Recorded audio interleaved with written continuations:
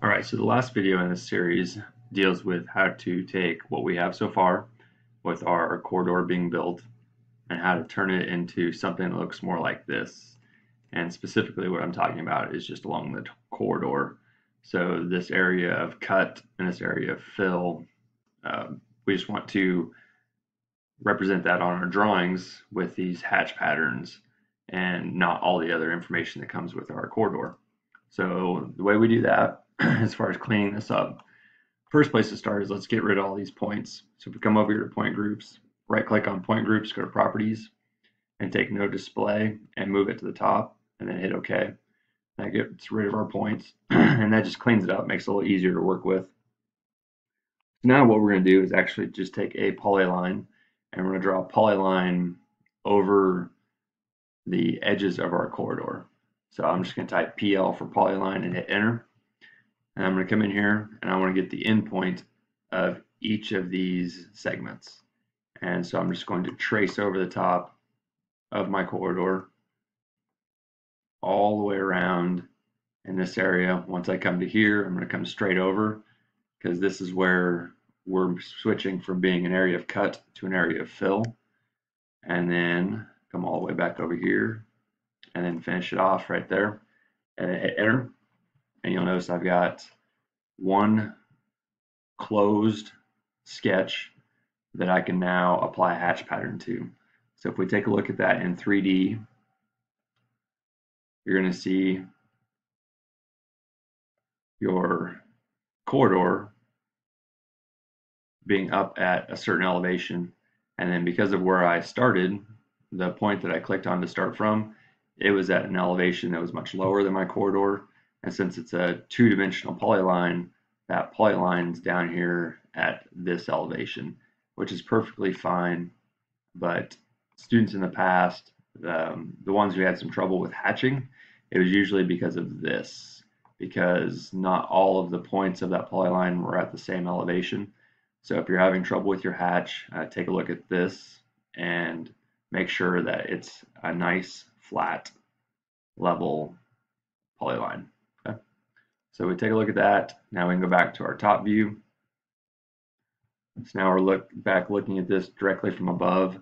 So what we're going to do is we're, we're going to apply a hatch to that.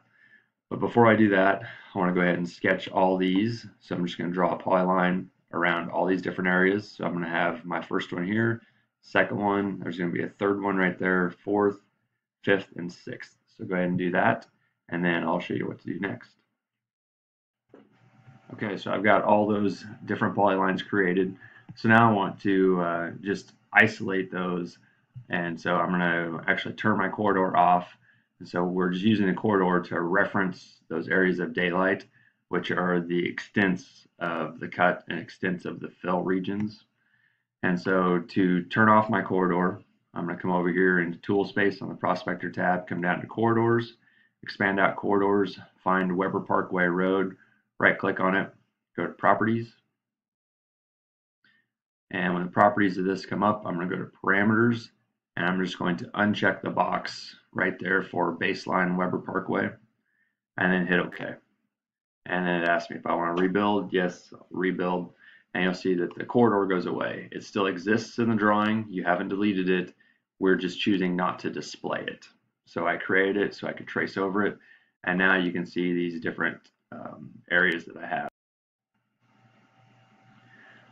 So then next what I'm going to do is go ahead and turn off my surface. Uh, just makes it a little easier to hatch it. So I'm going to go ahead and click on the surface, come up to surface properties, click on surface properties. And then here under my surface style, I'm just going to do no display, hit OK. And now when I go to hatch this, it'll be a lot easier. So H for hatch and hit enter. Select annotated hatch. It's going to be a, I'm going to use that ANSI 31. Go ahead and click inside those couple of areas. Do the same thing on the other side. I'm going to adjust my angle a little bit. We'll use a 45 degree angle for that. And then these down here on this other end, they'll be the same. So I'll go ahead and include those now too. And so those areas look good, I'll go ahead and do close hatch pattern. And then I can come back and do these middle ones. It's going to be the same settings. Let's try something a little different here. Choose uh, an angle of 135 for those. So it's a little different than the first set that we made and uh, apply some of that contrast. And go ahead and hit close hatch creation.